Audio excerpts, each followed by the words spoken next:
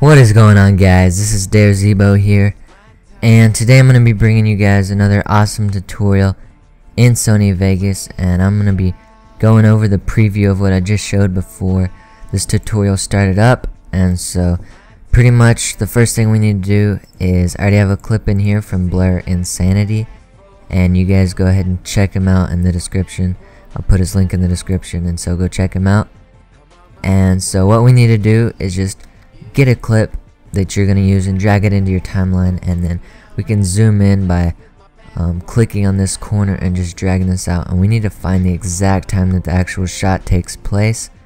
And so let's go ahead and get one frame before that. So right there. And what we need to do is press S on our keyboard. And that is going to split the clip. And so now there's no change but our clip is going to be split right there and then what we need to do after that is come to the first clip and go to our video effects HSL adjust and go ahead and drag on desaturate. And if we look there we can see that this is now in black and white. Didn't mean to do that. So the first part is going to be in black and white and then right when the shot takes place it's going to be in color. And it just a really cool effect. Um, it's pretty simple but um, I really like it. And there's a bunch of other things you can do with it as well.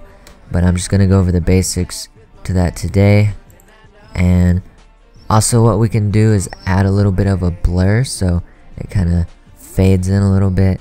And so just come up here, go to radial blur and get moderate fixed radius and drag this onto your second clip. So now if we see, um, we can see that it's blurred a little bit. And let's go ahead and decrease that to about 4000 and just go to animate and go to about the first go about halfway just depending on how how long your clip is and change that to zero and you should have two keyframes at 4000 and then dropping down to zero.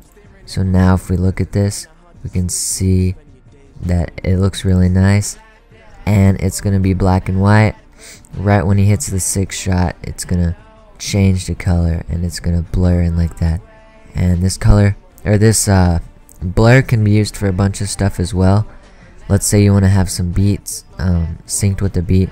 You're just gonna need to find where you want it synced with the beat and go ahead and split the clip twice.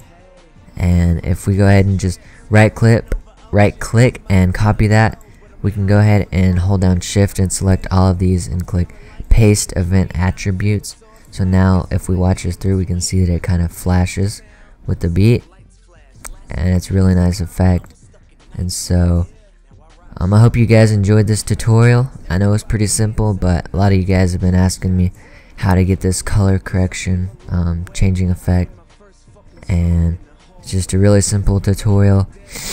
And sorry I've my nose is a little bit stopped up so sorry about the voice. If it sounds any different than usual and that's pretty much all I have for you guys today. I'm sorry I haven't been posting as much recently. I've been extremely busy with school and my in real life work and but I'm gonna try and start posting some more like I used to and a lot more often and so hope you guys just stay active and don't forget to follow me on Twitter and Facebook and just thank you guys for watching this don't forget to like comment and favorite so this is Dare Zebo, guys. I will see you next time. Thanks for watching.